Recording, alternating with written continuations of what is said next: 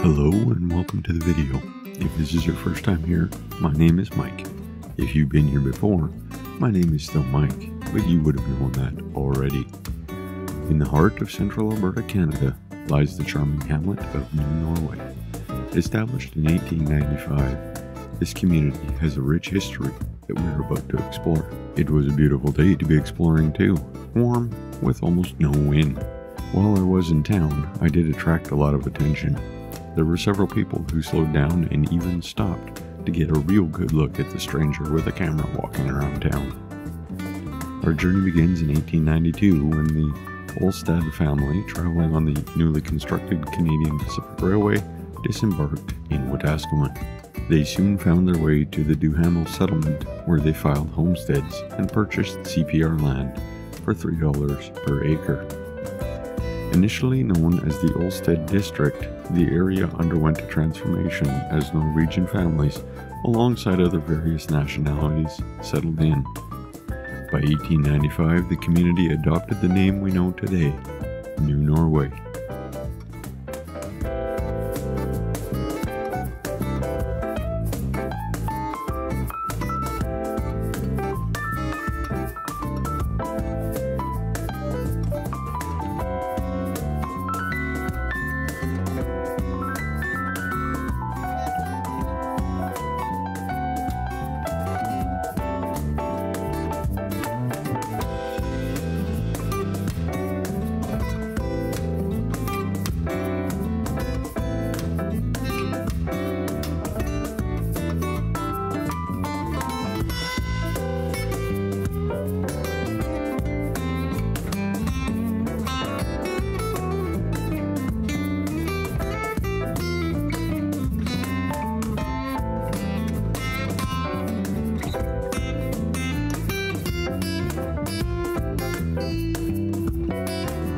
Fast forward to 1903, and New Norway had already become a fledgling community with essential amenities like a school, general store, and blacksmith shop.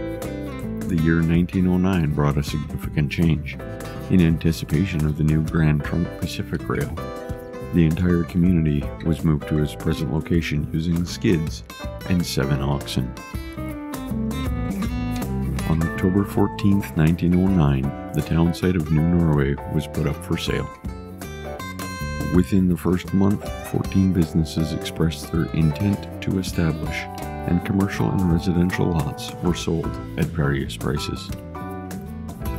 New Norway officially incorporated as a village on May 6, 1910, and the first council consisted of Norman M. Smith, James F. Willows, and Evan O. Olstead. They were elected on May 9, 1910. Over a century later, on November 1, 2012, the village of New Norway transitioned to hamlet status under the jurisdiction of Camrose County. And that brings us to today, where New Norway continues to thrive as a tight knit community with small businesses, school, and a unique blend of history and progress.